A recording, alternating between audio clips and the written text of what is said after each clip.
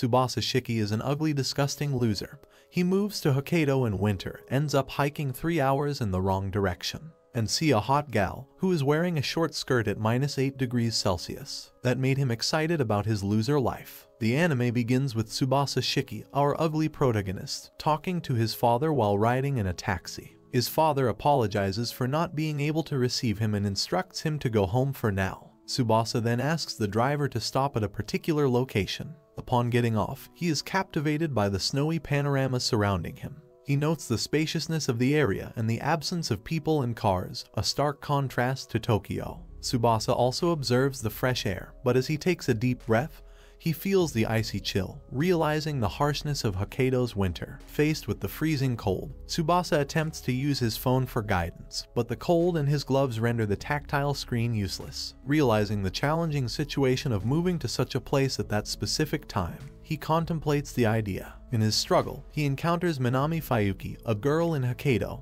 who stands out in the cold with her short skirt. Tsubasa is surprised by her presence and notices her vulnerability to the cold. Approaching Minami, Tsubasa expresses his intention to go somewhere and shows her the map on his phone. Despite the cold, Minami, with a red nose, offers assistance. As Tsubasa gets closer, he is struck by her cuteness. Minami asks what's going on, and Tsubasa shares his desire to go to a specific location.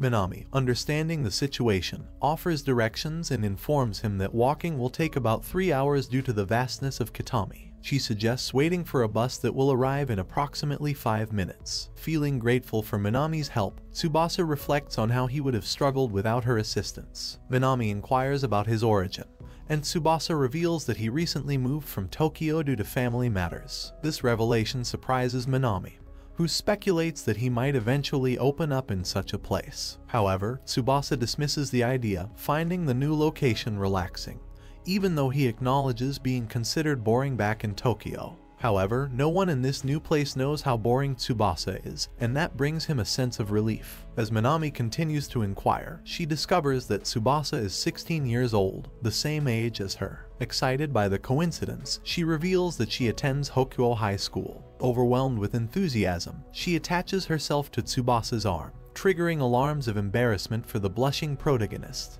Tsubasa, flustered, is quick to explain that he feels cold, not realizing that the contact with Minami's two big airbags adds a layer of softness to his experience. In Tokyo, Tsubasa had never engaged with a girl like this, and he finds the experience wonderful. Lost in his thoughts, he begins to converse with Minami, but she mischievously slips snow inside his clothes. Minami bursts into laughter witnessing his comical reaction to the cold snow. After a few seconds of confusion, Tsubasa realizes it was just snow, but as he looks at Minami, he is captivated by her beautiful, happy face. Unable to contain himself, he blurts out loudly that she is very cute. Caught off guard by the compliment, Minami blushes but playfully hits Tsubasa on the shoulder. Despite the embarrassment, there's no awkwardness between them. Just as the moment unfolds, the bus arrives. Minami bids farewell, leaving Tsubasa in awe. Before she boards the bus, Tsubasa musters the courage to ask for her name. She replies with a smile, Minami Fuyu. Tsubasa, still in shock, watches as the bus departs without him, realizing he missed it.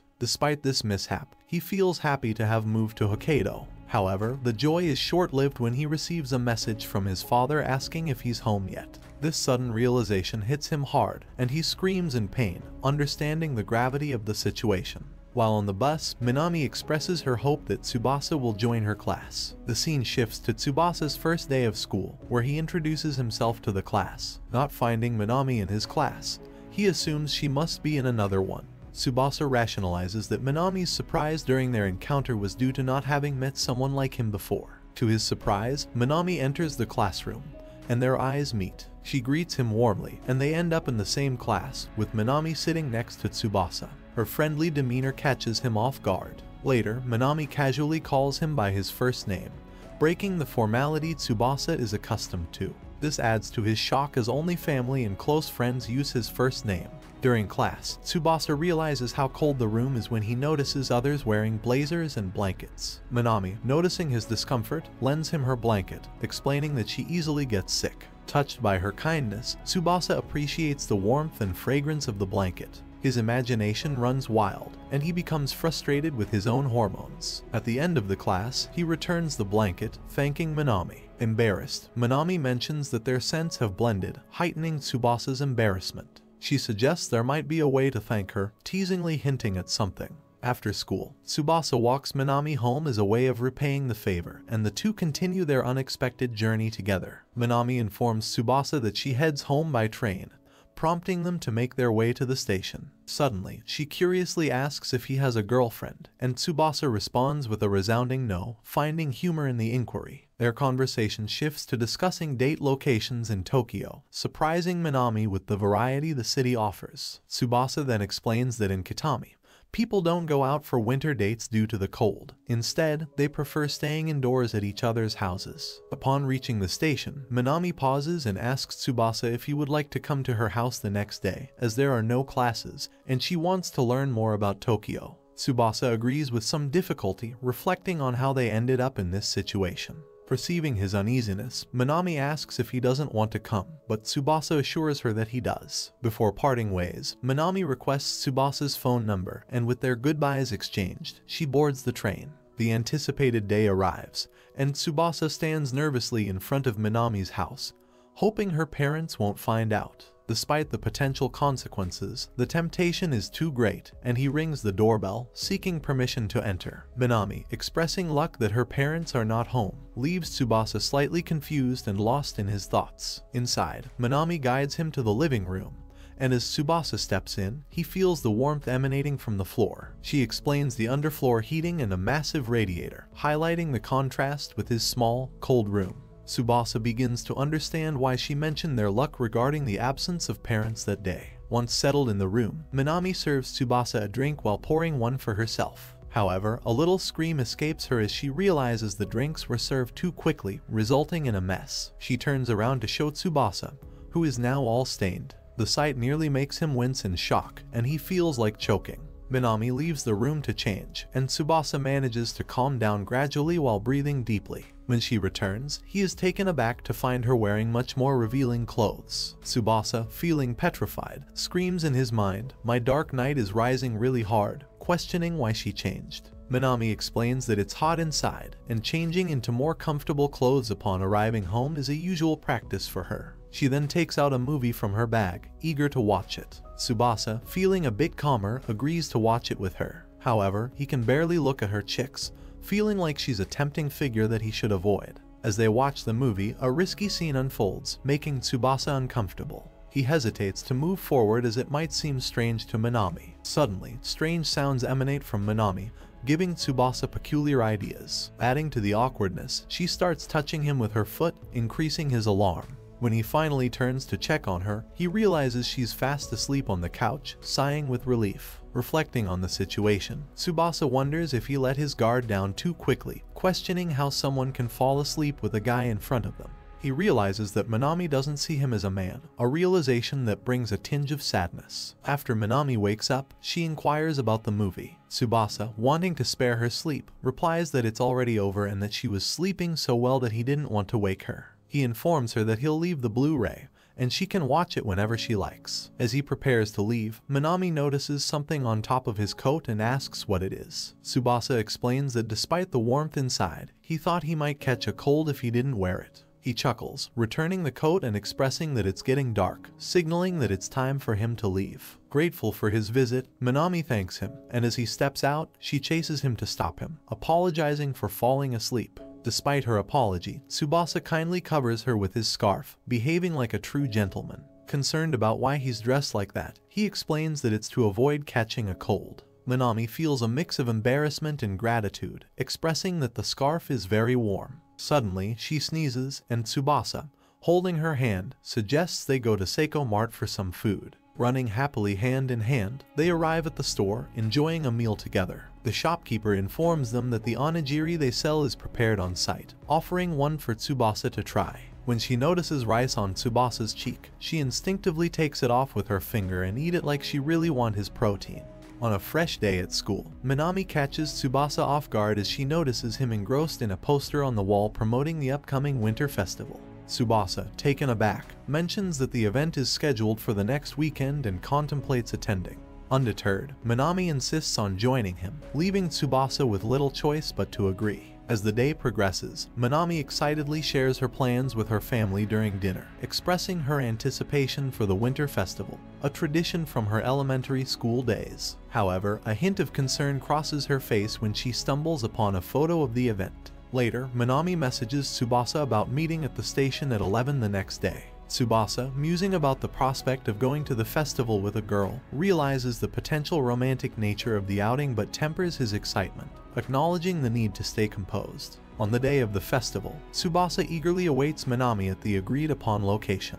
When she finally arrives, he is taken aback by her choice of attire, finding her unexpectedly hot. In his thoughts, he notes how effortlessly casual she always appears, only adding to her charm. Despite the initial surprise, Riz God relaxes and asks Minami if she had attended winter festivals during her primary school years. She responds that it's been a long time since those days. While taking in the winter wonders of the festival, Tsubasa expresses his excitement about the snow statues and ice sculptures unique to Hokkaido, highlighting the things that set the region apart. As they explore, he meticulously plans their food stall adventure, but Minami, in a hushed voice, admits she's unsure. Undeterred, she becomes increasingly enthusiastic, her excitement bubbling over. Upon arriving at the festival, Tsubasa is captivated by the surroundings, urging Minami to explore further. She agrees with even more enthusiasm, and as they walk, Tsubasa is awestruck by the colossal sculptures. Attempting to capture the moment, he suggests taking a photo, and Minami leans towards him and holds his hand.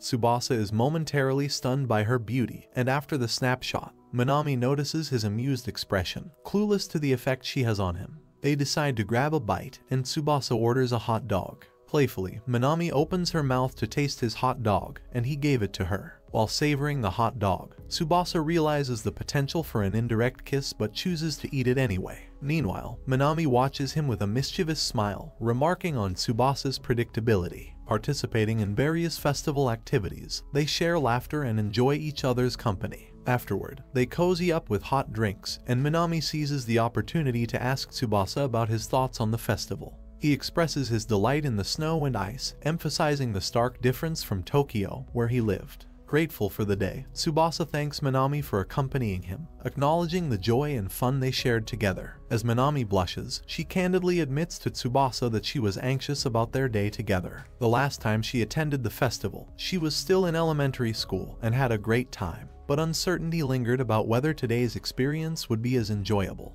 She had worried about disappointing him but is relieved to discover that her concerns were unfounded. Tsubasa's company has deepened her love for Hokkaido, and she fondly reminisces about the city, realizing how much she enjoys it. Witnessing him having fun brings her immense happiness, and she expresses gratitude for sharing the festival with him. Their pleasant conversation takes an unexpected turn when, Due to Minami's misstep, she almost slips. In a swift and instinctive move, Riz God catches her in his arms, like a K-drama movie. For a moment, their faces and lips are mere inches apart, a close encounter that catches them both off guard. After a brief but charged pause, Tsubasa swiftly separates, apologizing for the unintentional proximity. Minami assures him she's fine and appreciates his quick response. As they leave the festival, Tsubasa suggests going somewhere else another day. Intrigued, Minami questions his eagerness, teasingly asking why he's so insistent on going alone.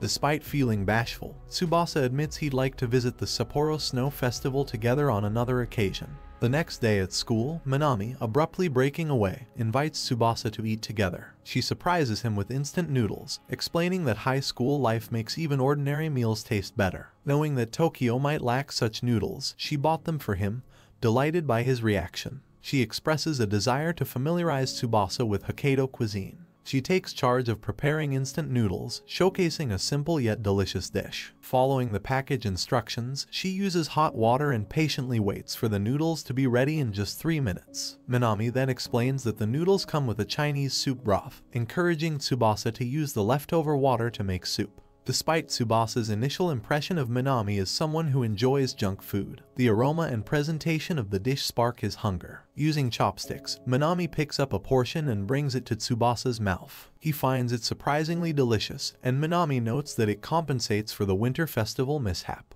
Playfully, she brings up the earlier blushing incident, asking if Tsubasa got excited thinking about it. He deflects the question by mentioning burning yakisoba. Changing the topic, Minami inquires about what Tsubasa brought for lunch, excitedly comparing it to a New Year's feast. Tsubasa offers her a taste, and she's pleased with its deliciousness, prompting her to inquire about its origin. Tsubasa reveals it's his grandmother's stew, and after finishing the meal, he thanks Minami, expressing appreciation for the tasty experience. During their conversation, Minami asks Tsubasa about his background, questioning if he's a rich and pampered kid.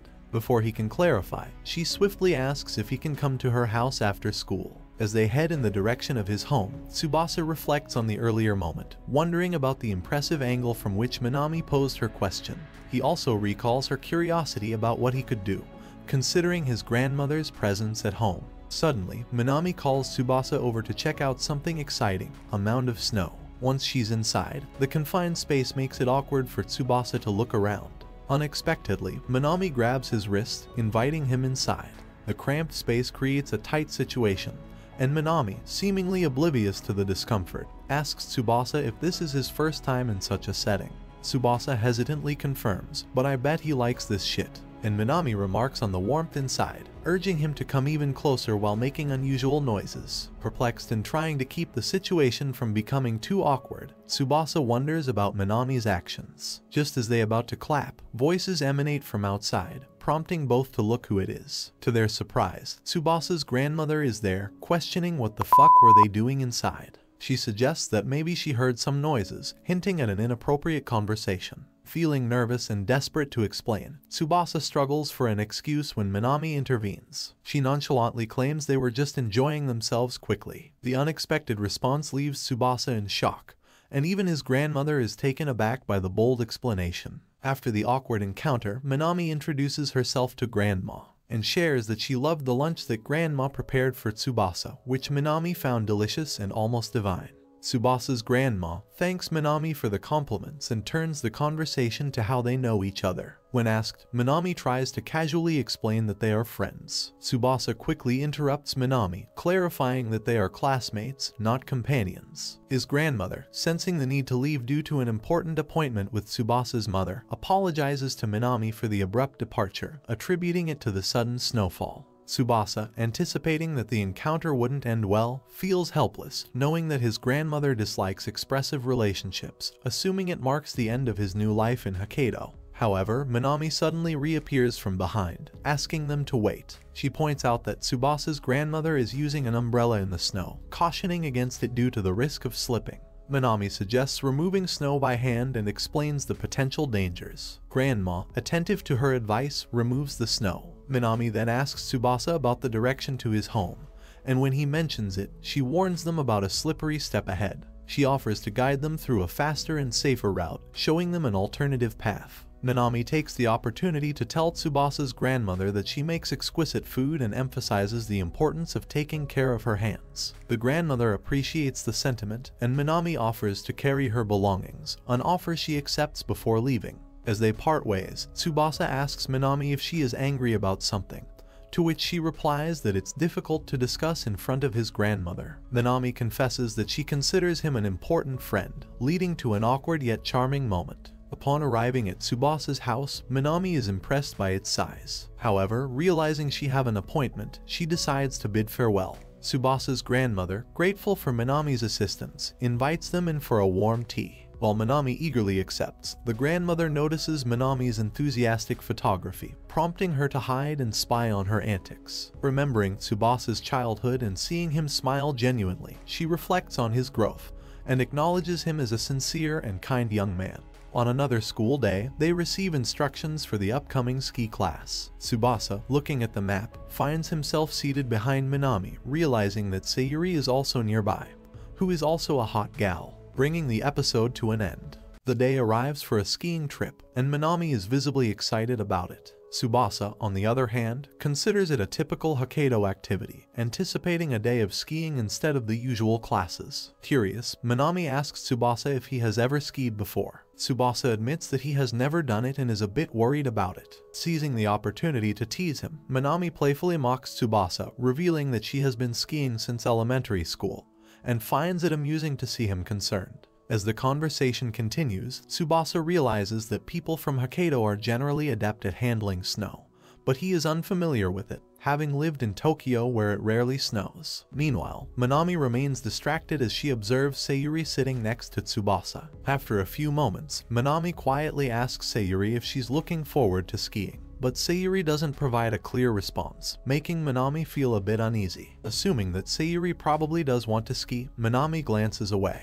Tsubasa, observing Minami's interactions, finds it strange that Minami seems to get along well with everyone. He wonders if something happened between Minami and Sayuri. In a hushed tone, Minami assures Tsubasa that everything is mostly fine and shares that she has been trying to befriend Sayuri for a long time.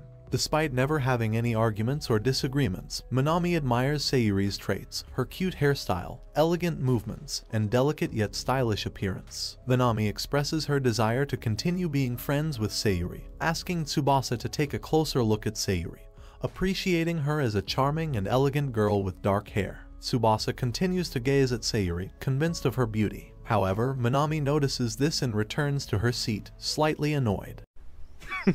Women.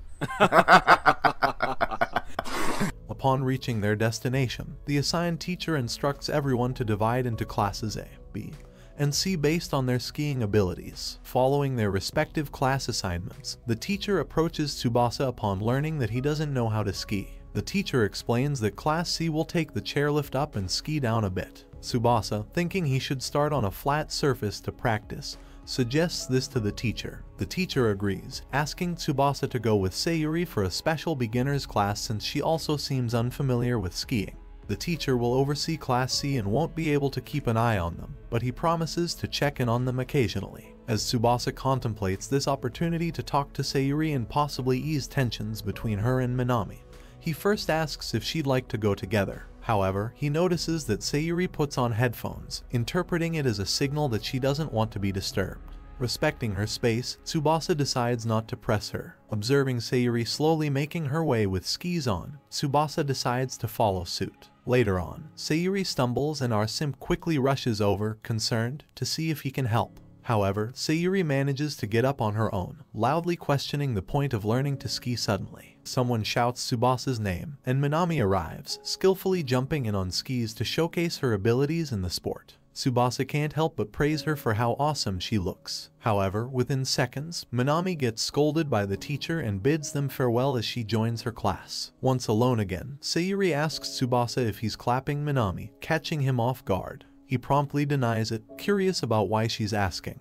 Sayuri explains that it's because they were talking a lot on the bus. Tsubasa clarifies that Minami was just teasing him, but in Sayuri's opinion, there seemed to be something more to it. She describes Minami as the typical popular and perfect girl, loud, outgoing, and a partygoer. Sayuri contrasts herself, noting that Minami has everything she doesn't. Later, the teacher apologizes, explaining that he was busy with Class A and he couldn't come to help them. Tsubasa reassures him not to worry and asks what time lunch break is. The teacher responds that most students are already resting, making it clear that he genuinely forgot about them. Shortly after, Tsubasa is on the bus with Sayuri, thinking people would think they're clapping in bus, so he decides to eat his lunch inside the building. He realizes that the chopsticks are still in his backpack and goes back to the bus to retrieve them quickly. As he walks down the aisle, the next thing he sees is Sayuri wiping off her hot sweat, revealing much more than she should. This leaves them both in shock for such an embarrassing moment.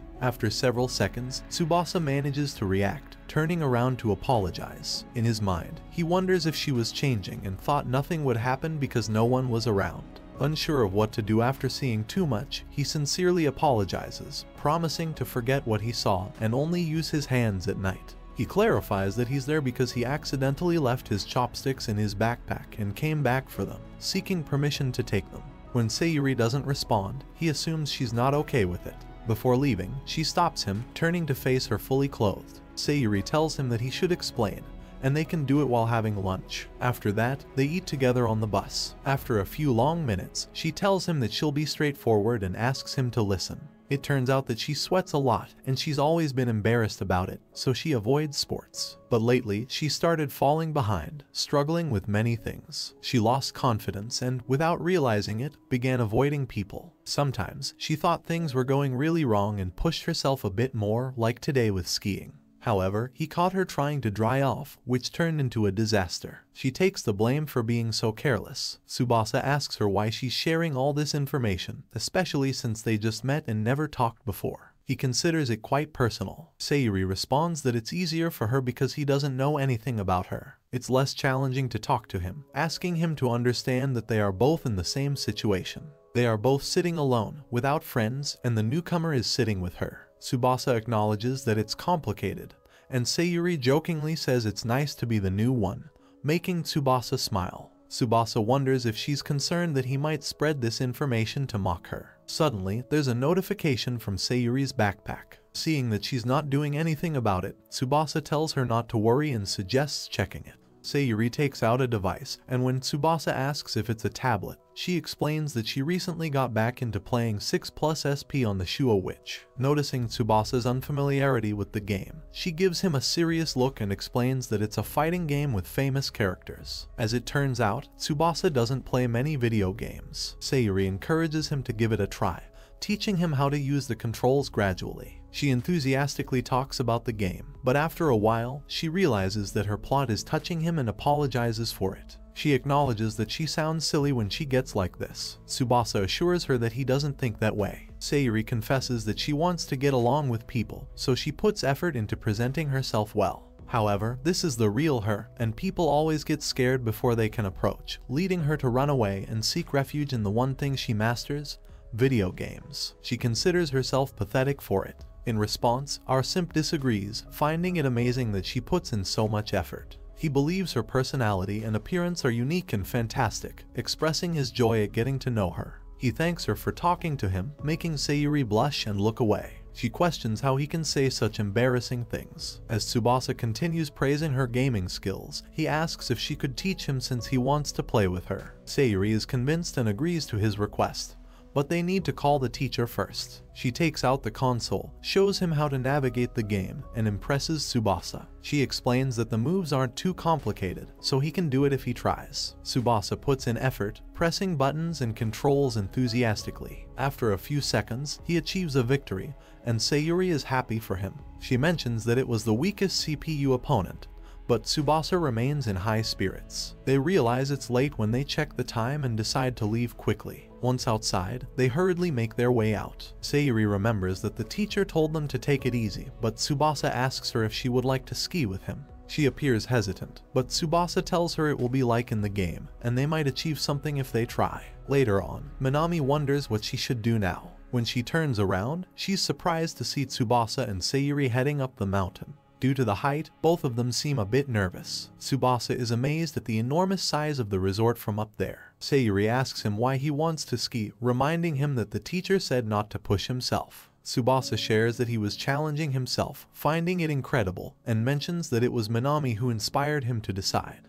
She was his first friend since he moved, introducing him to various foods and showing him new places. He recalls that she was skiing exceptionally well today. Listening to their conversation, Sayuri asks Tsubasa why he wants to ski, prompting him to deny any romantic feelings for Minami, embarrassed and nervous. He insists that they are just friends. However, Sayuri points out that his strong denial suggests otherwise and mentions that it's normal since everyone idolizes Minami. She even admits that Minami sometimes talks to her. Due to Sayuri's straightforward nature, she begins to suspect something and wonders why Tsubasa is acting this way, unsure of how to respond. Before Tsubasa can say anything, Sayuri informs them that they've arrived and need to descend. As they stand together on that small peak, they are impressed by the beautiful view of the horizon. Tsubasa turns to her, wanting to ask her a favor. He proposes that if he manages to descend without falling even once, Sayuri should tell him what Minami really wants. He reveals that Minami wants to be friends, not just for her sake but also because he genuinely wants them to be good friends. Sayuri is a bit embarrassed but agrees with a condition. Tsubasa must not dare to leave her behind. Happy to hear that, he clarifies that he won't, and they both descend the mountain together. During the descent, Sayuri recalls Tsubasa's advice on how to go slow, shifting the center of gravity forward, pointing the skis towards them, and moving from side to side. Following his guidance, she finally starts moving slowly. On the other hand, Tsubasa maintains his concentration to ski and, with some difficulty, manages to break further down. He is glad to be learning. Suddenly, he hears someone calling Tsubasa's name from behind and when he turn around, they see Sayuri speeding down. She wonders how to stop and realizes he forgot to teach her how to do it. Tsubasa, noticing the situation, shouts at her to make a wedge with the skis. Seeing that she isn't listening, he opts to stop her himself. However, before he can do anything, Minami rushes to Sayuri's side, explaining that if she pulls on the skis and falls backward to the side, she can safely stop without hurting too much. She'll show her how to do it, and all she has to do is imitate her. Sayuri agrees, and in the end, they both end up lying in the snow. Shortly afterward, Tsubasa also arrives, and the teacher scolds both of them for skiing alone without permission. Tsubasa decides to talk to the teacher, and Sayuri tries to go as well, but Tsubasa stops her, explaining that he brought her into this and nearly got her hurt, so he will take the responsibility and punishment. Minami laughs at how he apologizes so much to the teacher. Meanwhile, Sayuri, after thinking for a moment, thanks Minami for helping her and apologizes for being cold towards her. Minami is happy to hear these words and readily accepts her apology. On the bus, Minami talks about becoming friends with Sayuri and having a great time, calling it a perfect day. However, she notices Tsubasa and Sayuri sitting closely together behind her. Pouting, she wonders why they don't interact with her more. Later on, it's revealed that Tsubasa and Sayuri are sleeping in their seats, a normal sight after such an exhausting day. The next day, Tsubasa is about to head to school, unsure if he can make it through the massive snowstorm outside especially with the muscle soreness from skiing the day before causing him immense pain throughout his body. Approaching his grandmother, he hears that Hokkaido will test his determination, urging him to endure the blizzard to become a true citizen. Despite his determination, as he steps out, the extreme cold renders him nearly speechless. Feeling the immense pain from the harsh environment, he thinks about how Minami is probably attending school effortlessly. Suddenly, a car approaches, taking him by surprise. Overwhelmed, he collapses into the snow, accepting his impending fate. As he thinks he's about to die, his life flashes before his eyes, bidding farewell to Hokkaido. At that moment, Minami, appearing in the flesh, questions what he's doing, insisting he can't walk in such a snowstorm. She drags him into the car, despite his complaints about the pain in his body. Inside the car, Minami's mother remarks on the extremely cold day, advising Tsubasa to relax. Tsubasa is astonished to see that Minami's mommy is identical to her, and even hotter. Minami reveals that Tsubasa lives in a mansion, making the car seem tiny to him. Despite his denial, Minami's mother realizes he's the young master of Minami. Minami continues chatting with Tsubasa, painting a picture of their journey ahead and if she had known, Minami's mother would have done a better job of putting on makeup. Suddenly, the mother asks Tsubasa if he has a girlfriend in Tokyo, but Minami reaches out to touch his shoulder, causing him to react to the pain. He tells both of them that it's just muscle soreness from using muscles in skiing that he didn't even know existed. Minami is surprised and realizes she should be more delicate with him. The mommy attributes Minami's endurance and stamina, claiming she could go all day without getting tired. Returning to the previous topic, Tsubasa responds that he doesn't have a girlfriend, prompting his mother to express pity and then ask what he thinks of her daughter. Minami, embarrassed, asks her to stop as she's embarrassing her. Despite Minami's request, his mother continues to praise Tsubasa, suggesting they would make a lovely couple. Minami gives her an angry look, causing his mother to relax and mention that she was just excited to meet him. Tsubasa notes that Minami gets angry in that way, but it doesn't scare him. Nevertheless, he should still be careful. Changing the subject, Minami's mother talks about how Tsubasa, being from Tokyo, must find the local weather surprising. Tsubasa agrees and wonders why the school hasn't closed. Minami explains that locals are accustomed to the cold, and her mother adds that many children go to school with their parents, especially in winter. Minami mentions her desire to look cute and wear less clothing, but the winter cold prevents her from doing so. They discuss the high cost of winter clothing, and Minami, unable to afford what she likes with her allowance, expresses her desire to work. However, her mother and father advise her that she's still too young. Observing them, Tsubasa thinks they look like a close-knit family, imagining the challenges of being a local in Hokkaido. Unintentionally, he praises them for looking cute in their current attire, shocking both Minami and her mother, who blush in embarrassment. Tsubasa apologizes for his inadvertent comment. Later, they arrive at the school entrance, and Minami's mother asks Tsubasa if their houses are close. He replies that they're about a 10-minute walk away. She suggests that if he sees a blizzard like today, he should contact Minami and she could give him a ride. After thanking her, Minami's mother compliments Tsubasa on his handling of the situation. Minami, still embarrassed, replies that he only did a little well. As they enter the school, Minami's mother reflects on how even in winter, with a blizzard, it still feels like spring for others. In the hallway, Tsubasa continues to endure the pain and notices Sayuri approaching. Minami rushes to hug her, despite Sayuri being in pain herself. Tsubasa realizes that Sayuri also has muscle soreness, indicating that he's in the same situation. In the classroom, Minami notices Tsubasa wearing the cardigan and blanket she lent him. She asks him what he thinks about it, revealing her jacket and showing off her plot warmer, wondering if he wears any. Tsubasa is taken by surprise, avoiding eye contact, and replies that he doesn't. He now understands why Minami can wear light clothes. She hands him a pair of plot warmers, emphasizing how serious the cold in Hokkaido can be. When Tsubasa holds the plot warmers, he reflects on the unexpected friendship with Minami, something he couldn't have imagined in Tokyo. Minami suggests he should buy a lipstick, to which Tsubasa advises her to do it after class using the Hokkaido dialect, surprising Minami as she realizes he is already picking up the local way of speaking. She expresses joy, confirming that he's becoming a local like them. Sayuri joins them, telling Tsubasa not to take Minami as a role model, mentioning Minami's exceptional qualities. Minami, curious, asks Sayuri what she's talking about. Sayuri responds that she's also 100% laid back but doesn't use many regional idioms, nor does she have an accent. She admits she's not good at skiing or winter sports, but there are many like her. Tsubasa realizes that Minami's family from Sapporo uses Hokkaido idioms, while most of Sayuri's family doesn't, except for her grandparents. Tsubasa thinks this probably depends on location, family, and age. He notices the handheld console in Sayuri's hands, and she excitedly suggests playing together. Tsubasa eagerly agrees, loudly expressing his desire to play with her, embarrassing Sayuri. She turns away, quietly commenting that he's too innocent, though Tsubasa remains oblivious. He invites Minami to join them, and she gladly agrees. The three of them make plans to meet at Tabu after class. Later, they find themselves in front of Tabu, a shopping center. They show Tsubasa around the fashion and dining sections, as well as a mini supermarket with a variety of meat. Tsubasa is surprised by the size of the place, noting that it doesn't look like a typical shopping center, with more space and less noise, allowing for a calmer atmosphere. The trio encourages Minami as she plays a game on the console, and after securing a victory, she celebrates with Sayuri. When Tsubasa heads to the bathroom, Minami asks Sayuri if she wants to check out cosmetics, affectionately calling her Orin. Sayuri, embarrassed by the nickname, eventually agrees to accompany Minami to see the cosmetics section. Talking about the expensive cost of colored contact lenses, Sayuri suggests they could buy them together. After discussing it, Sayuri tells Minami that she's a very pleasant girl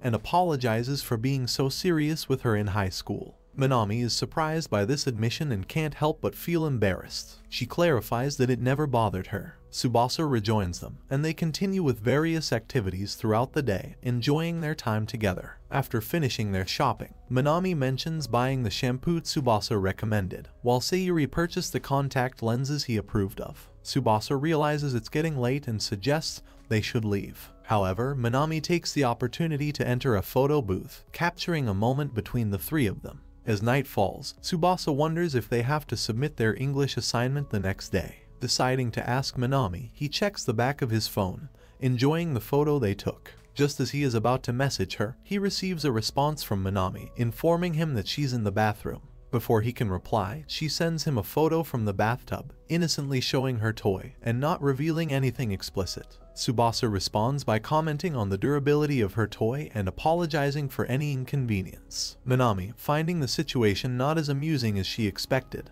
decides to spice things up with a more provocative photo, sending a top camera angle photo, leaving Tsubasa in shock. She thinks she may have gone too far but anticipates a better reaction. Within moments, Tsubasa responds with another message. Tsubasa responds to Minami, teasing her about taking her beauty routine seriously and mentioning that her effort in that photo reveals her big mommy airbags. Meanwhile, Tsubasa is frustrated, wondering if his response was the right one to Minami's previous photo. He hears the phone ring, realizing it's a call from Minami. Contemplating whether to answer or not, he decides to pick up, realizing that ignoring her, his initial rational option, is no longer viable. Minami asks if he's watching her, making Tsubasa look at his phone, only to discover that she has initiated a video call. Nervous, he notices his camera isn't even on, meaning she can't see him. Minami laughs, having successfully embarrassed him. Tsubasa turns the phone upside down to speak more comfortably. Minami casually asks if he bathes daily, to which he answers yes. She reveals that in her house, apart from her and her mother, they usually bathe every two days due to concerns about rising bills. She suggests going to hot springs, playfully mentioning they could bathe together and rub soaps on each other. Tsubasa realizes she's just teasing him. Remembering the English assignment, he asks Minami about it, and she realizes she hasn't done anything.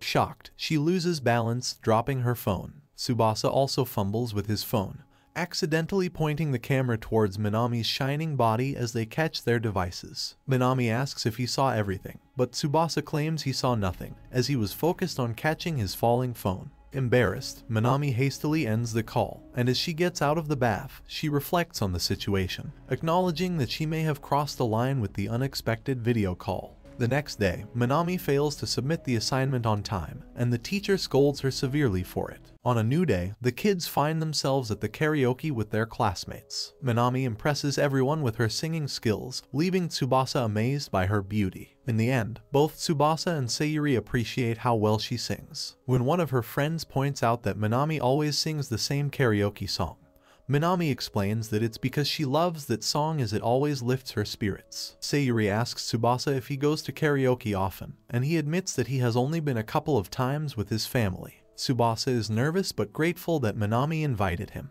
On the other hand, Sayuri reveals that she goes to karaoke frequently, but always alone. Tsubasa, feeling a bit awkward, tells her that everyone has their own preferences, and he finds it great. Later, the classmates ask Tsubasa and Minami to choose a song but they feel uncomfortable. Minami takes charge and decides to choose songs for both of them, and they appreciate her help. After singing, the boys discuss the upcoming exams, while the girls talk about Valentine's Day at the other end of the table. Minami loudly announces that Valentine's Day is approaching, creating a tense atmosphere. Some boys claim not to be interested, but when the girls mention giving friendship chocolates, the boys show excitement. Tsubasa wonders if Minami will give chocolates to someone, and a boy asks her for chocolates. Minami agrees without hesitation, stating that she will prepare a lot this year, and her friend asks how much she made last year. And she replies that she made about 60 chocolates, distributing them as if it were lunch. For a moment, Tsubasa feels a bit uneasy, but upon hearing that she gives chocolates to everyone, he feels more at ease. However, he later wonders why he felt so relieved. After understanding what they meant, one of the girls asks Sayuri if she enjoys making chocolates. Sayuri responds that she doesn't, preferring to save money and spend it on her hobbies. The boys ask Tsubasa if he received chocolates in Tokyo, and he answers that he has only received chocolates from his family. While they talk about it, Minami and Sayuri listen attentively. As it gets late, everyone says their goodbyes and goes their separate ways. Tsubasa reflects on how much he enjoyed talking with the others and is glad he came at that moment. Sayuri and Minami both talk to Tsubasa at the same time, and realizing this, Minami speaks first, asking if he had fun.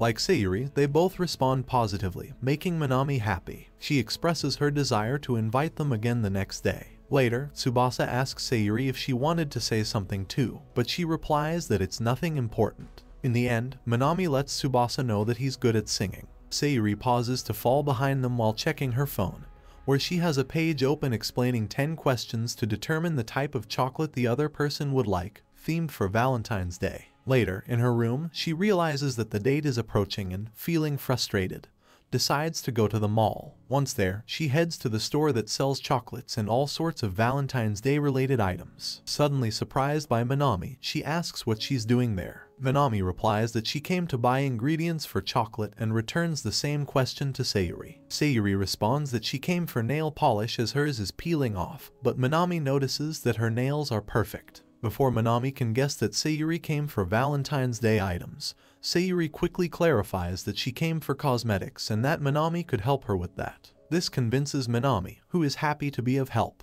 After shopping, Minami comments that she really likes the Valentine's Day themed aisle and then asks Sayuri what kind of chocolate she likes. Hearing that she likes ganache, Minami gets excited, sharing that she always buys Royce's Nama chocolate when she goes to a certain store. Seeing the time, she realizes she needs to leave and says goodbye to Sayuri. Before parting ways, with a bit of difficulty, Sayuri asks if she can go shopping with Minami. While doing so, she gets embarrassed and clarifies that it's not because she wants to make chocolates for herself. Minami is delighted to hear that, assuring her that she will make fantastic chocolates for her. After finishing the shopping outside, Minami asks if she can call them and if they need help before leaving. Taking courage, Sayuri asks Minami if she doesn't want to give Tsubasa real chocolate, the love chocolate. This direct question results in several seconds of silence. After that, Minami asks why she's mentioning Tsubasa. Sayuri explains that they spend a lot of time together, but Minami clarifies that it's because they're friends. And she also considers Sayuri a friend. Sayuri acknowledges that it's true,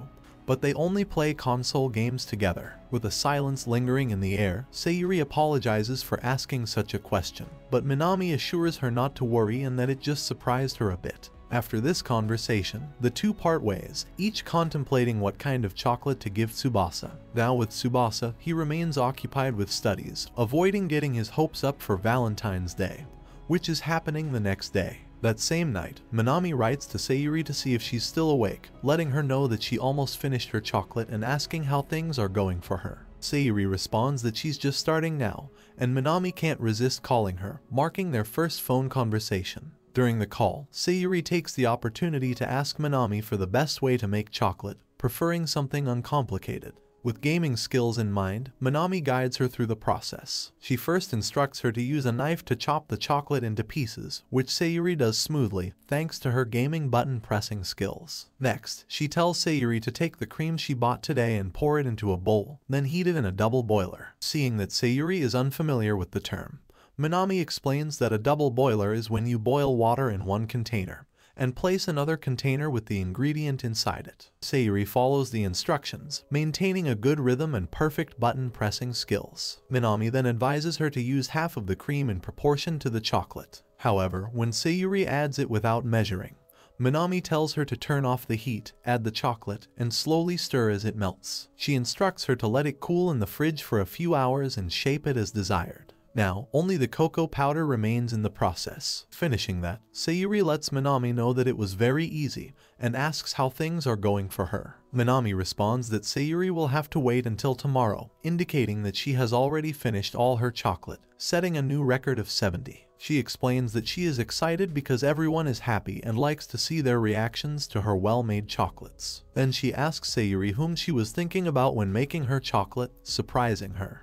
Sayuri reminds her that she wants to give chocolates to Minami, and Minami is happy to hear that. Still, she asks if Sayuri will give chocolate to someone else besides her, mentioning that she has been thinking about Tsubasa and Sayuri. Just before Sayuri can ask if she likes Tsubasa, she accidentally hits the milk carton triggering a chain reaction that creates a complete mess. Sayuri is alarmed by the noise and asks if Minami is okay. However, Minami is in shock, seeing all her chocolates ruined, including the heart-shaped chocolate. She informs Sayuri that she spilled condiments and a bottle of soy sauce on the chocolate, and nothing is salvageable due to being soaked in soy sauce. Minami admits it's her fault for not organizing beforehand, telling Sayuri that she has to clean up. After saying goodbye, she ends the call. Sayuri is quite worried for her and receives a message from Minami seconds later, wishing her good luck and marveling at how kind Minami can be. Valentine's Day arrives, and Tsubasa opens his locker with hope, only to find nothing which he expected. In the classroom, Minami greets him, and he notices that her eyes are red and swollen. Minami tenderly gives him a store-bought chocolate, letting him know they are delicious. Tsubasa shows extreme happiness,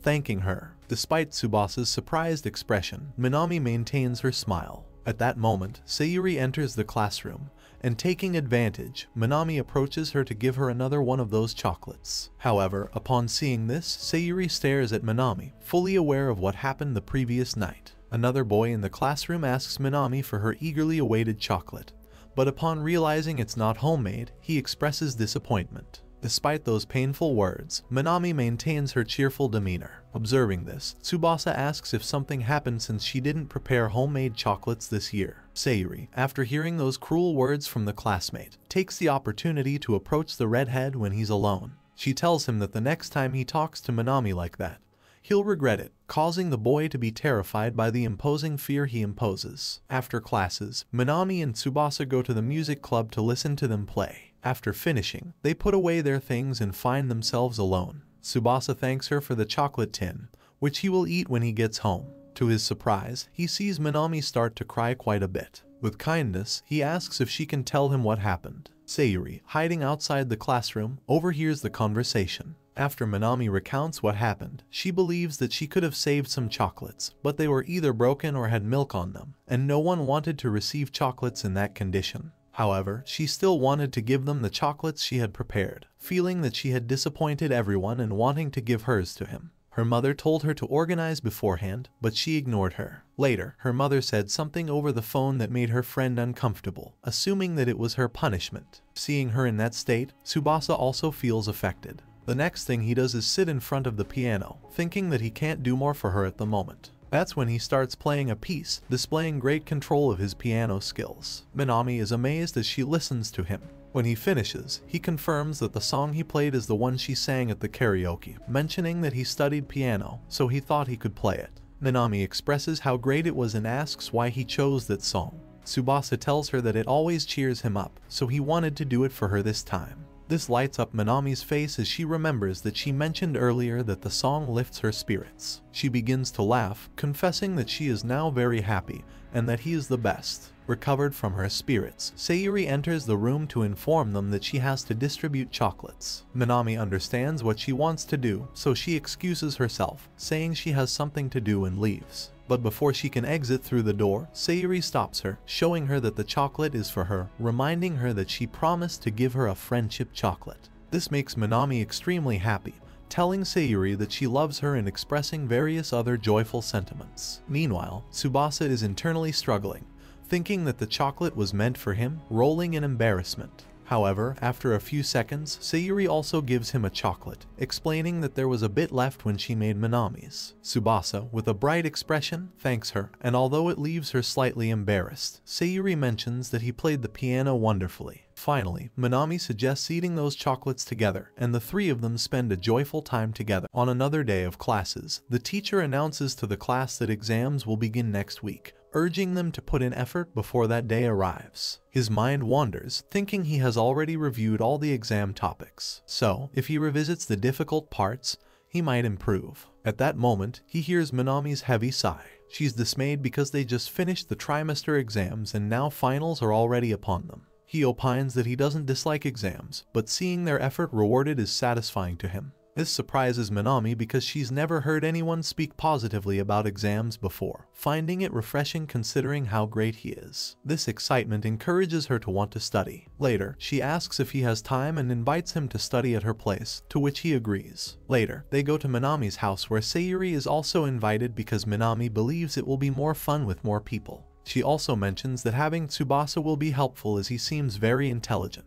Both of them consider him their private tutor. Hearing this, Tsubasa thinks helping them could be useful, so he doesn't mind. Upon arriving at Minami's house, she explains that her parents are at work and her little sister is in dance class. This surprises Sayuri, thinking Minami is more like a younger sister than an older one. Minami tells them she'll get some drinks and in the meantime, they should go to her room. Sayuri asks for the exact location of her room, complaining a bit that it doesn't make sense to send them to a room they don't know. Hearing this, Tsubasa reveals it's not their first time at Minami's house, surprising Sayuri. He explains they just stayed in the living room and watched a movie together. After hearing this, Sayuri jokingly calls him ugly pervert. Tsubasa tries to clarify they didn't do anything strange and that Minami simply fell asleep on the sofa, though Sayuri remains unconvinced. As soon as they enter Minami's room, they notice the feminine ambience that permeates every corner. Tsubasa reflects that he's never been in a girl's room before, remarking that it smells quite nice. He imagines this must be because Minami spends all her time here, whether playing, sleeping,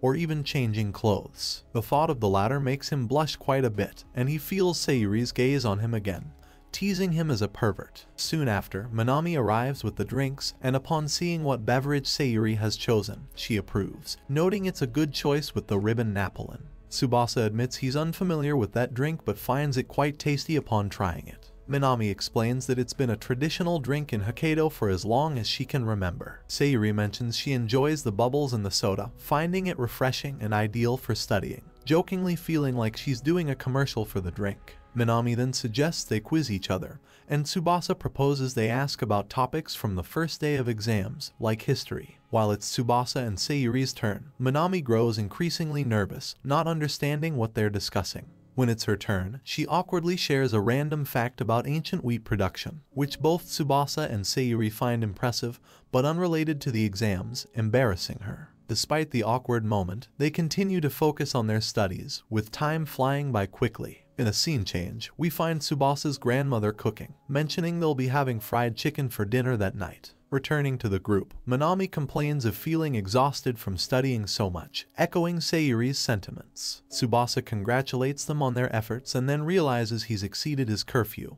hastily bidding farewell to rush home. As he opens the door, he stumbles and thanks to Minami's mommy's airbags, he is safe as his face shoved into her airbags. After a few moments, she realizes he's there studying and offers to drive him home since they live quite close by. Meanwhile, Tsubasa can't shake off the sweet scent and the feeling of his face still flushed. He's aware that Minami's mother knows he plays the piano well, as Minami had mentioned before. Upon hearing this, she mentions that he has been playing since childhood, her tone becoming a bit more serious. She also confides in him about Minami's disastrous Valentine's Day, and how worried she was about her mood when she got home. However, Minami arrived home with a smile, talking excitedly about how well Tsubasa played the piano, which greatly relieved her. She expresses her gratitude to him and even gives him a soda before he leaves, recognizing his hard work and offering it as a gift. This inspires him to strive even harder. However, he's suddenly startled by his grandmother's loud shout, scolding him for coming home late. The next day, as he heads to class, he's still nervous about the incident, with flashbacks of his grandmother's firm words echoing in his mind. She had made it clear that as long as he lived in her house, he had to follow her rules. Although she let it slide this time, she warned him sternly that if he repeated such mistakes, there would be consequences. Tsubasa accepts her warning without protest, Back in the present, Tsubasa finds himself gazing at a girl he sees ahead. Upon closer inspection, he believes she might be from another country due to her appearance. Simp admires her beauty and refinement. Suddenly, some crows swoop down near the garbage area, startling them. Catching his eye, the girl informs him that he's rid of those pests now and advises him to hide, leaving Tsubasa confused by her use of the word scum. Once Tsubasa arrives at school, he tells Minami about what happened. She quickly identifies the person as Rena, feeling a pang of envy that she was the first thing he saw today, demonstrating how much he adores her. It turns out Rena has won the high school beauty contest two years in a row, and is rumored to have one foreign parent, making her quite famous for her beauty around the school. Afterward, Minami offers for him to join her and Sayuri in another study group, but Tsubasa declines. He explains that he needs to study alone starting today until the exams are over, not because he doesn't want to study with them, but he needs to focus. Minami reluctantly accepts his decision, though not entirely pleased. Tsubasa refrains from telling her about his grandmother getting furious as he doesn't want them to worry about him. Later, when Yuri sees him, she suggests studying together again, but Tsubasa declines once more. The reason being they don't study well when they're alone which happened when Tsubasa left abruptly the night before. At lunchtime, Minami joins Sayuri instead of eating alone, mentioning how strange it is that Tsubasa isn't in his usual seat for the first time. Sayuri senses that Minami might be upset with him for not wanting to study together, which Minami denies, feeling a bit embarrassed. Meanwhile, Tsubasa is studying in the library for a change of scenery, making good progress. Suddenly, he hears some snoring and looks up to see Rena asleep in the distance, finding her beautiful even in her sleep. He wonders what she might be dreaming about to smile like that, feeling relaxed just watching her. She wakes up and mentions the word Sekigahara, leading Tsubasa to assume she was dreaming about war, smiling due to some imagined massacre. Rena notices him looking and Tsubasa quickly looks away, not wanting to be distracted. He focuses on studying alone but realizes Rena is now sitting beside him. She tells him she's part of the library committee, meaning she has authority over the library at the moment. If she deems it okay, he can sleep there. Tsubasa understands her concern about him seeing her asleep in that place and assures her he doesn't mind. Rena then comments on his good posture, poking him with her finger, causing him to react strangely. When she glances at his notebook, she points out a mistake in one of his answers, and upon checking, Tsubasa realizes she's correct. Rena mentions that if he's studying, he must be a first-year student, wishing him luck before leaving. Tsubasa wonders if she noticed the mistake just by glancing at it, but then dismisses the thought as unlikely. Later, when Tsubasa arrives home alone, he is greeted by his grandmother, who is not in the best of moods. She mentions she's been thinking all day about what she can do to help him, aware that he's at an age where he may face challenges she doesn't fully understand. since moving to Hokkaido, he's let his guard down, and what he needs now is time to develop his mental strength, which she believes the tea ceremony can provide. She reminds him that they used to do this often when they were in Tokyo, but it will be his first time there. Tsubasa reassures her that it's like riding a bike, the body doesn't easily forget the movements. Before they can begin the tea ceremony, the doorbell rings. Tsubasa goes to answer it and is surprised to find Rena Natsukawa, who introduces herself as their neighbor. Before she can explain why she's there, they both become distracted upon recognizing each other. Tsubasa realizing she's delivering the neighborhood bulletin, and they are neighbors, which he finds pleasant. Rena, on the other hand, becomes fixated on his attire, finding Japanese clothing extravagant. She suddenly tosses the bulletin aside and throws herself at him, shocking Tsubasa. His grandmother, noticing the delay, comes to investigate and finds Rena lying on top of Tsubasa's chest. Tsubasa, shocked by the situation, asks for an explanation from his grandmother. Rena quickly separates herself, claiming she accidentally slipped and Tsubasa saved her from falling. She then hands over the bulletin. Tsubasa notices Rena's change in behavior, and his grandmother realizes she's acting differently. She apologizes for the commotion and thanks Rena for bringing the bulletin. After Rena leaves, Tsubasa's grandmother comments that Rena must live nearby, as her father usually delivers the bulletin. She finds Rena charming, which surprises Tsubasa as his grandmother doesn't usually make such comments. As Tsubasa gazes outside, lost in thought about Rena, his grandmother urges him to focus. She reprimands him again, making it clear why he's let his guard down. She tells him that strengthening his mind is useless if he's going to weaken it again. She then drops a bombshell. He must rank in the top 10 of the school exams, or she'll send him back to Tokyo, a consequence he hadn't expected to hear at all. The next day, as Tsubasa makes his way to class, he reflects on how he never thought his first exams there would turn out like this. However, it's true that he got distracted remembering the moments he had fun with Minami and Sayuri, assuming that this would happen sooner or later. Now that it has happened, he is determined to give his all to studying in order to rank among the top 10. While on his way, Rena greets him and lets him know she was waiting for him, as she wanted to discuss some things with him. She asks if he's okay with her offering to help him study, but he doesn't think it would be enjoyable to talk with her. Rena notices he looks upset and asks if he had any problems because of their encounter yesterday. Tsubasa responds that it's not the case, explaining that he's troubled by his studies. Nevertheless, she apologizes and shares her love for historical things, admitting that she loses her mind when she sees Japanese clothing. Tsubasa now understands why she did what she did, thinking she has a very unusual fetish, not expecting her to be passionate about history. As a form of apology, Rena offers to help him study, hearing that he needs to rank well for the exams. She assures him not to worry, mentioning that she's always been the top student since coming to that school, which surprises Tsubasa. Rena explains she could teach him techniques and strategies for the subjects. After hearing her out, Tsubasa realizes she's not only cute but also incredibly smart, assuming she solved that problem from before instantly. Therefore, he decides to ask for her help respectfully, determined to achieve his goal of staying in Hokkaido.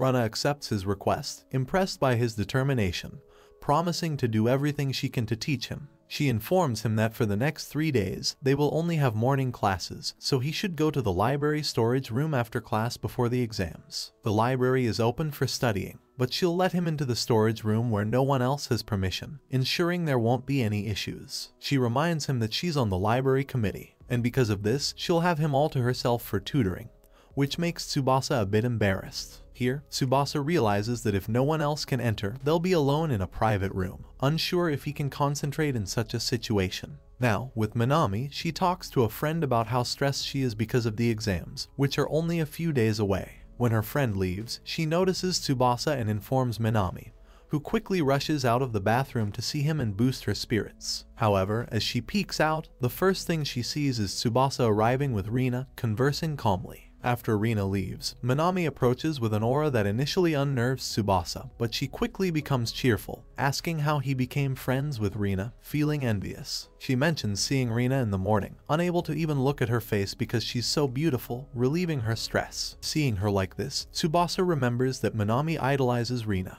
on their way to class, he explains that Rena is their neighbor, which is why they came together. For a moment, Minami stops in the hallway with a puzzled look, but when Tsubasa asks if something's wrong, she brushes it off. In class, the teacher informs them that for the next three days, there will only be morning classes, urging them to go home directly to study. The library will also be open for studying, but they must use it wisely and not disturb anyone. After this, Minami asks Tsubasa if they can't study together today either. He apologizes, explaining that he needs to focus a lot on these exams, so they can't study together. Minami accepts his answer, apologizing for pressuring him. It's then that Tsubasa remembers he has to rank among the top 10, but it bothers him a lot to have to reject Minami's invitations. Even though he could tell her everything and she would probably blame herself, he doesn't want that. This problem is his, and he must solve it on his own. As long as he stays silent and gets into the top 10, nothing will happen. Upon leaving and heading to the library, he enters the storage room to meet Rena. However, seeing her sitting in a rather striking manner, he can't help but feel nervous. With a bit of effort, he manages to calm himself down by taking a deep breath before telling her that he wants to start with mathematics. After completing a few exercises, she tells him he did very well and that at this rate, he might reach a C grade. But this isn't enough for him, and she accepts that, pointing out some careless mistakes in his calculations, so they proceed to solve more problems to improve his accuracy. She then asks who his math teacher is, to which Tsubasa responds that it's Professor Takahashi. Upon learning this, Rena mentions that the professor often uses the same problems from tests in the final exams, so it would be useful to review them. At the end of their study session, Tsubasa thanks her for teaching him and dedicating her time to him. Rena responds that it was nothing and that he inspired her to progress further with her studies. He then asks if she can continue helping him for the next two days, to which she agrees. But she also asks him something in return. Why is he studying so hard? It takes him a moment to respond, but Tsubasa explains that if he doesn't make an effort now, he'll lose sight of the people who mean a lot to him. With a smile, Rena lets him know that she would like him to reward her for helping him. If he manages to achieve the ranking he's aiming for, she wants him to go on a date with her. This revelation leaves Tsubasa stunned and paralyzed, hearing something like that. Later that night, Minami enjoys watching TV with her sister, but seeing her so relaxed prompts her sister to ask if she shouldn't be studying for the exams. Minami responds that she's not in the mood and then approaches her mom to ask if she has ever felt tightness in her chest and difficulty breathing even without having a cold. With such a strange question, her mom asks if she had tried something odd, embarrassing Minami and causing her to forget to ask her about that doubt. Meanwhile, Tsubasa continues studying and receives a call from Rena for help. Rena arrives to see their progress and Tsubasa expresses gratitude for all the assistance she's provided. After hearing this, Rena mentions that this has also been very stimulating for her, and obviously, there awaits a reward for her help. As she utters those final words, Tsubasa can't help but react quite embarrassed. After they end the call, a few minutes later, Tsubasa's grandmother approaches to give him some snacks, noticing his studious demeanor. She asks if he's ready for the exams since they start tomorrow, to which he responds that he'll do his best and really wants to continue living there. The next day finally arrives, marking the beginning of the exams, and it's only the first day. Minami appears quite happy about this since she doesn't have to study anymore, while Sayuri remains nervous because she wasted a lot of time playing.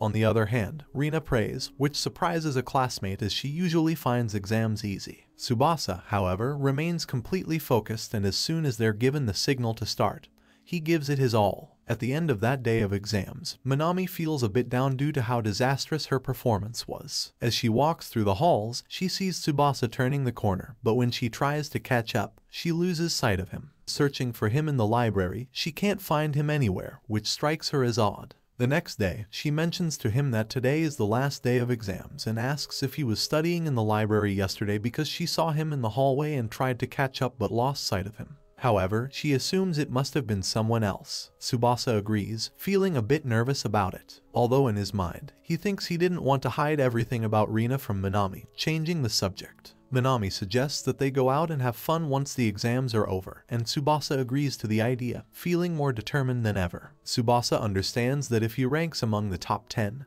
everything will be resolved, including hiding things from Minami. A week later, another Minami can be seen depressed by her poor results. She confides in Sayuri that she only got the questions they reviewed while studying with Tsubasa correct.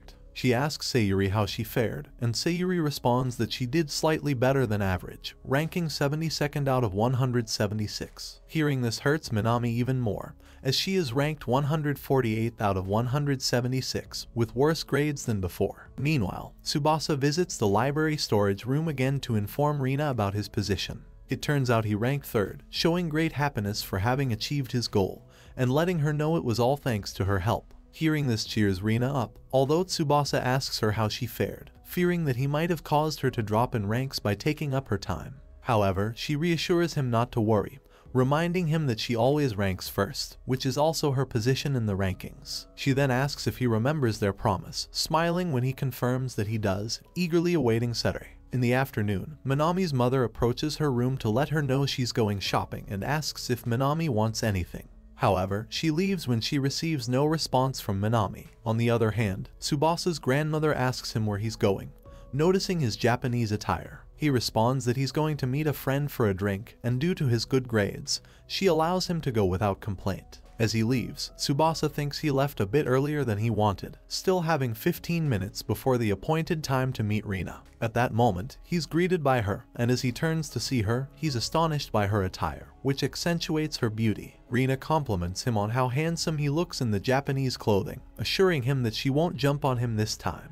She also confesses that she had been looking forward to this day for a long time since childhood, always dreaming of having a date dressed like this. She was so excited that she couldn't wait and left the house early, trying to keep herself in control. Tsubasa asks her to allow him the honor of accompanying her today, a request she finds beautiful, and they proceed forward together. As they continue on their date, by chance, Minami's mother happens to be in a car on the same street. Upon recognizing Tsubasa, she notices that he's accompanied by a rather beautiful girl, which surprises her greatly. Continuing through the park, Rena notices Minami's gaze and asks if she has something on her face. Tsubasa responds that she doesn't, but he's just impressed by how well she wears a kimono. Rena thanks him for the compliment, mentioning that they have many kimonos, but today she wanted to wear her favorite one. She then asks where they should go today, and Tsubasa remembers that he should have thought about it beforehand.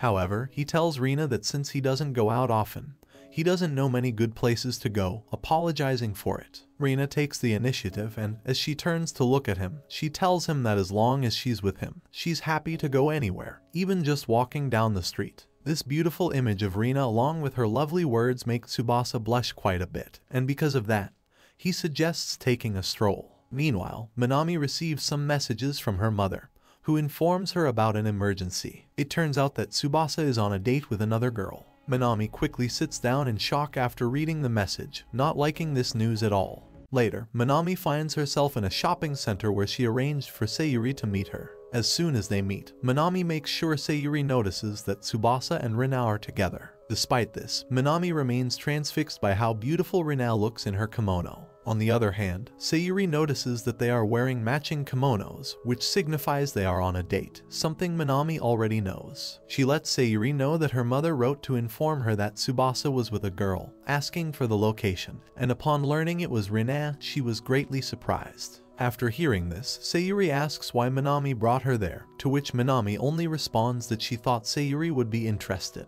Sayuri admits this is true and agrees to follow them discreetly. Tsubasa and Rena reach the hook game area, with him thinking he has never been to a place like this in a kimono, which strikes him as odd. Rena is delighted to see one of these games in action, mentioning that it's the Melon Kuma, the local mascot of Yubari. She also becomes fascinated by the other plush toys. Although Tsubasa finds it strange, he accepts that there will be people who enjoy such things. After hearing her enthusiasm, he asks if she wants him to try catching one. When she agrees, he sets out to catch the bear. His first attempt fails, and despite trying several times, he still doesn't succeed.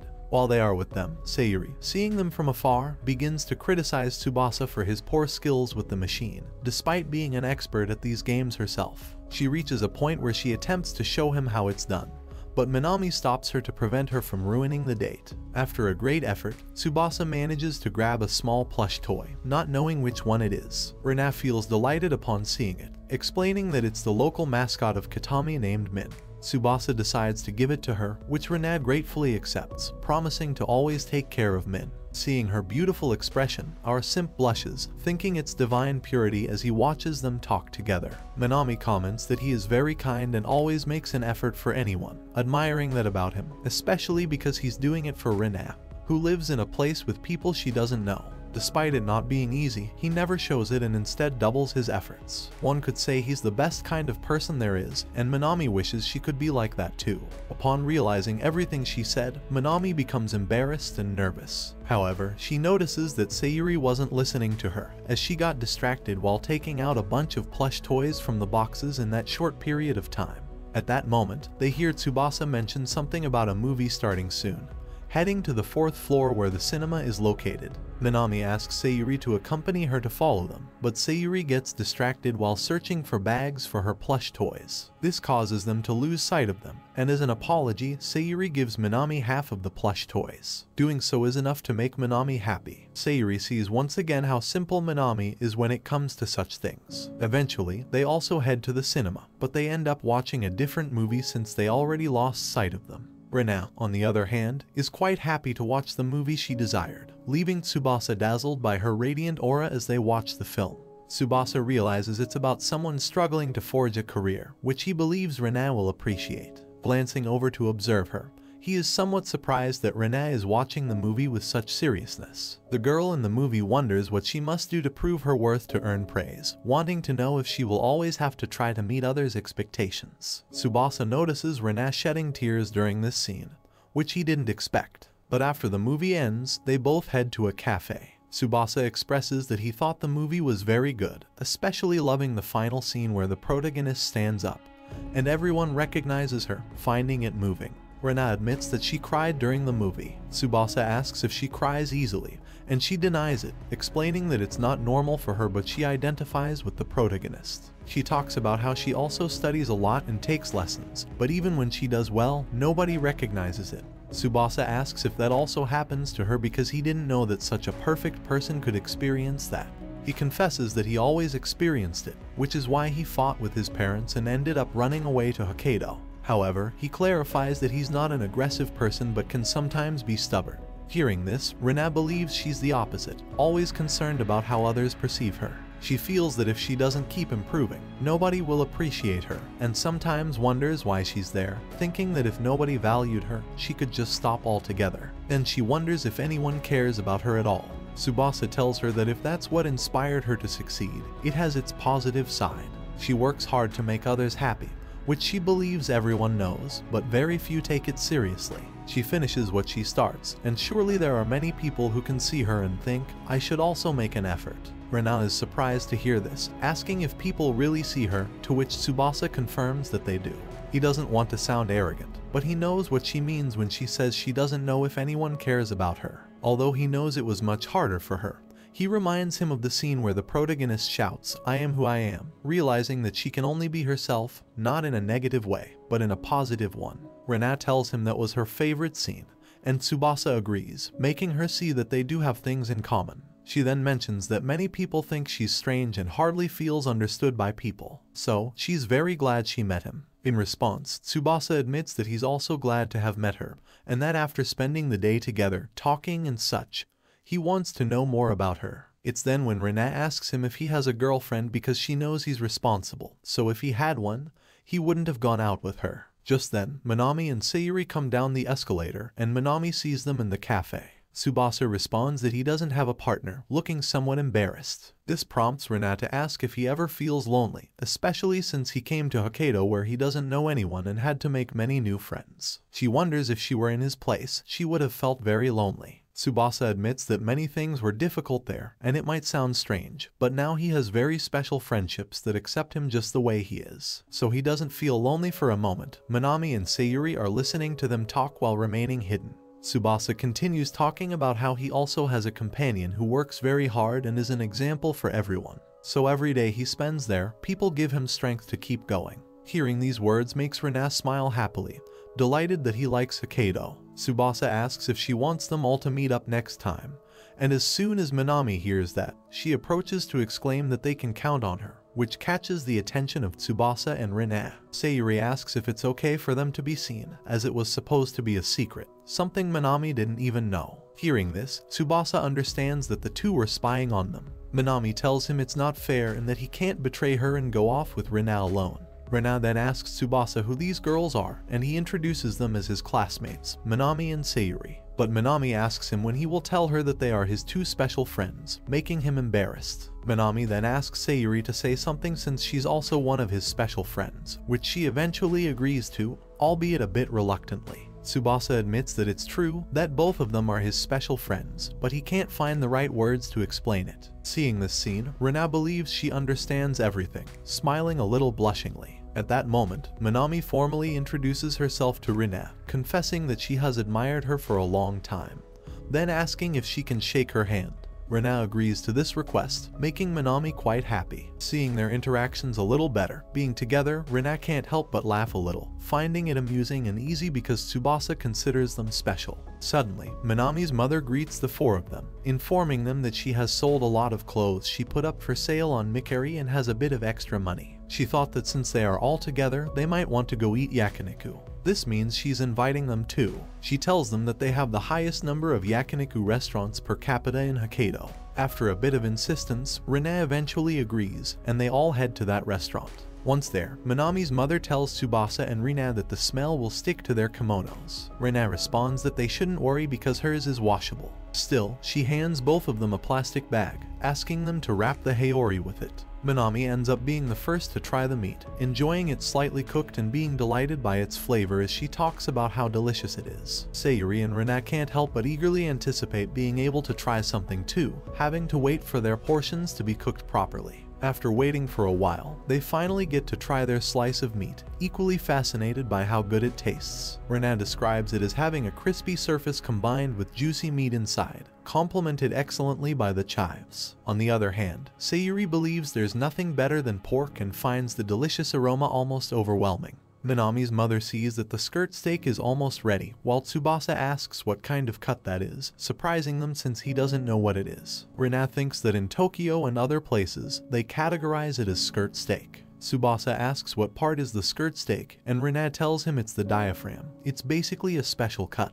When tasting this meat, Tsubasa comments that it's not fatty but very tender, beginning to talk about how delicious it is as it's a new experience for him. At this point, Tsubasa mentions that when it comes to meat, he would have thought it would be like lamb or yakiniku beef, wondering if they often eat in restaurants like this. Minami responds that they don't need to go to a restaurant for that since they often eat ginzunk at home, and there are even grills for it. Shortly after, Minami's mother tells Tsubasa that he's very lucky to be surrounded by adorable girls, which makes him feel like he's in paradise. She asks if Sayuri and Rena seem very lovely to him, avoiding mentioning Minami as she's part of their own family. In response, Minami comments that Rena could be in a special category since she always comes first in exams, making Rena feel a little embarrassed. Sayuri thinks that being both pretty and intelligent, Rena hit the genetic jackpot but Minami tells her she's wrong and that Rena actually puts in a lot of effort. Minami points out the effort Rena puts into things like makeup and nails, which require a lot of work.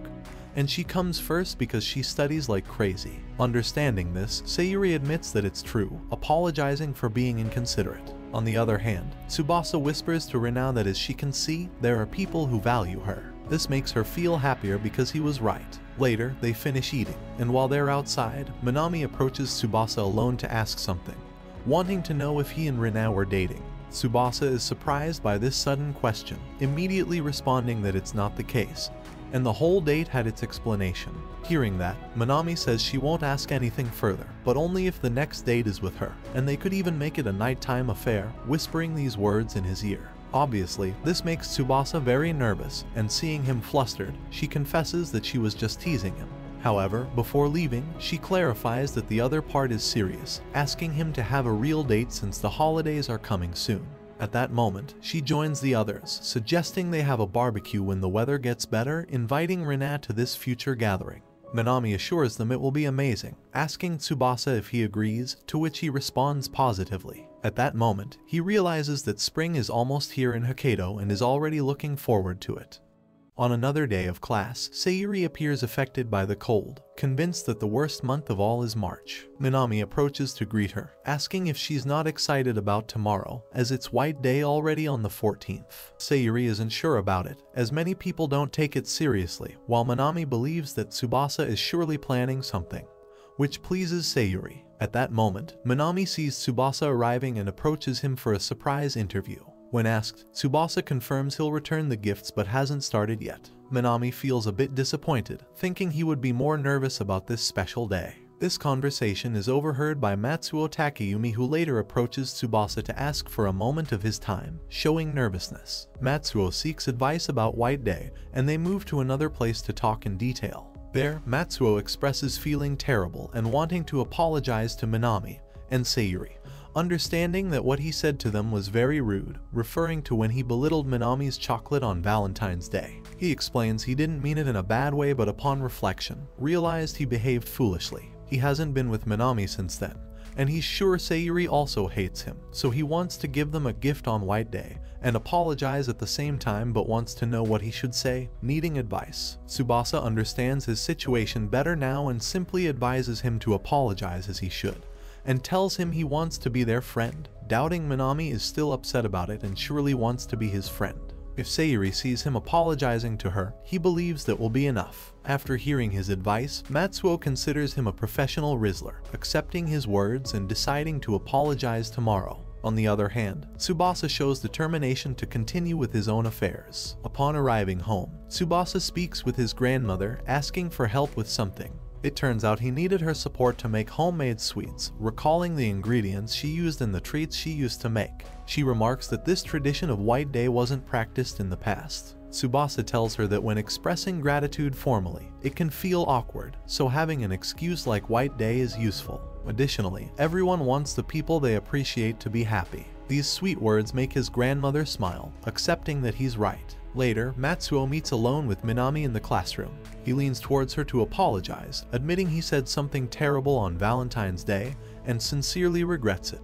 As a gesture of gratitude and apology, he presents her with an onion cake from Oceania. Minami is delighted to receive this gift, mentioning she loves his cakes, and assures him she has already forgotten about it, so he shouldn't worry. She thanks him and asks to continue being friends. After hearing this, Matsuo becomes quite happy and can't hold back his tears. After that, Tsubasa and Sayuri enter the classroom as they were eavesdropping on their conversation. Tsubasa asks if she's no longer angry, to which Sayuri responds that if Minami isn't bothered, neither is she. Matsuo takes the opportunity to also give Sayuri a cake. Tsubasa does the same by giving all three of them bags filled with sweets. He confesses that it's his first time baking sweets and that his grandmother used to make them for him since they were his favorites, senbei milk, and he thought it was a good opportunity to share his favorite treat with them.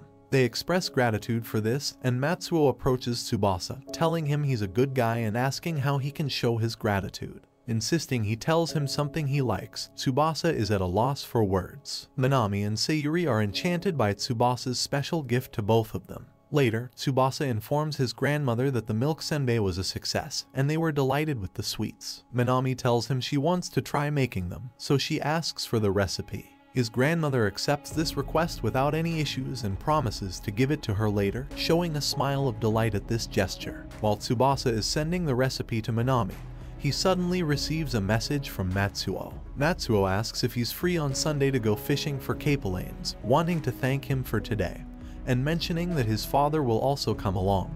He reassures Tsubasa that it's fine if he's a novice at fishing, which puts Tsubasa more at ease. On the day itself, Tsubasa is surprised by the landscape that Lake Abashiri offers, mentioning he's excited as it's his first time.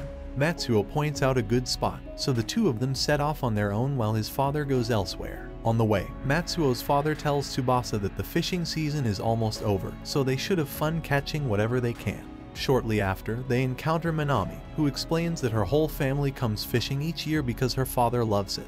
Tsubasa feels nervous upon hearing this and glances at her store. Minami tells them they haven't caught anything, so they decide to change locations. Consequently, she finds herself alone, though she was getting bored and planning to return to the car. Matsuo asks her if she wants to fish with them, and she immediately accepts. When they reach a spot, Matsuo uses the appropriate tool to make a hole, requiring considerable strength for that initial step.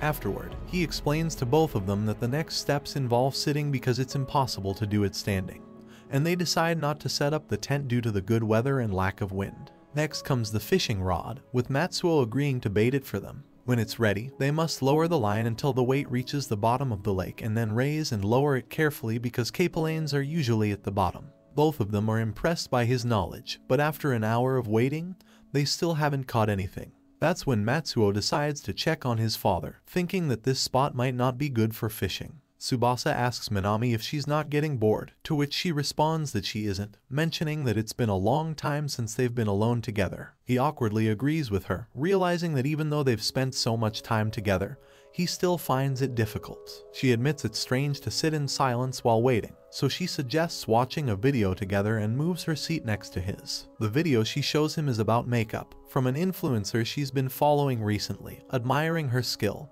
and aspiring to be as good as her at applying makeup. Minami compliments her on her natural and charming makeup, asking flirtatiously if he finds her charming. This makes him nervous, and he quickly clarifies that he was referring to her makeup. He admits he doesn't know much about makeup and is impressed by how much she knows and continues to learn.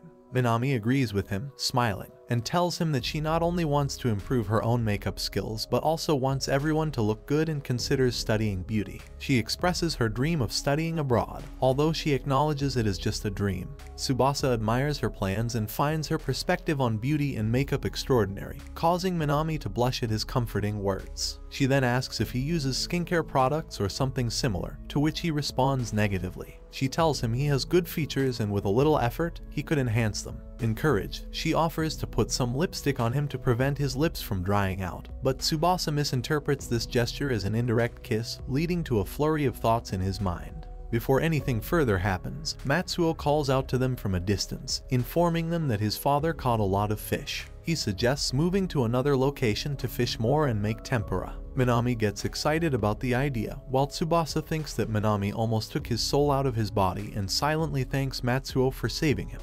After changing locations, they start catching many fish and enjoy cooking and eating them together, with Tsubasa particularly enjoying the new experience. Matsuo even offers Tsubasa some onigiri, which further delights him. With the combination of hot tempura and fresh onigiri, Tsubasa's first experience fishing for capelanes turns out to be incredibly fun. He caught a massive cold, probably because he decided to strip down while resting at home. While in bed, he receives a message from Sayuri, who learned about his illness from Matsuo. She sends him encouraging words to get well soon, which he appreciates. Then, his grandmother comes over and brings him some porridge and a bottle of water that Rena Natsukawa, their neighbor, brought over. Rena came to deliver the neighborhood newsletter and upon hearing he was sick, went to his house to bring him the water. There's a note from Rena on the bottle, urging him to drink the water and stay hydrated, which warms Tsubasa's heart to see everyone being so kind. Despite drinking water and resting completely, he feels his health deteriorating as time passes. He hadn't expected to fall ill with spring so near, and what's worse is that he feels very lonely. He thought he was used to solitude, but today he needed company. Suddenly, Minami calls him, surprising him with a visit. He's shocked and tries to get up, but she insists he stays lying down. His grandmother told her he doesn't need much stimulation, and she also expressed concern for him, hence she came to look after him for a while. Even though just seeing her in his room is quite stimulating for Tsubasa, she climbs on top of him to check his fever, leaving him in shock. She notices he has a bad cough and a higher fever than she thought, so she gives him some mint candies from Kitami, which she takes when her throat hurts or she wants to freshen up. This makes him feel better, although she jokingly blames herself for his cold, saying she kept urging him to keep trying while they were fishing. She declares she'll do anything he says today, which sends Tsubasa's mind into a whirlwind of thoughts, particularly about the word anything and how vast it is. Feeling dizzy from overthinking, he decides to lie down again. In his weakened state and with his mind not entirely clear, he quietly expresses a wish for Minami to stay by his side. She smiles and takes his hand with hers to accept his wish. The next day, he feels much better, believing that Minami's candies helped a lot. He sends her a message to let her know and she's happy to hear that. Tsubasa also informs her that he unintentionally fell asleep and wonders if they were talking about anything. It takes her a while to respond, and she tells him they weren't talking about anything, and that he fell asleep like a baby. Despite her nonchalant response, Tsubasa can't shake the feeling that they were holding hands, recalling that sensation somewhat and wonders if it was just his imagination. Meanwhile, Minami also stares at their hands, mentioning that she would love for them to be like that forever.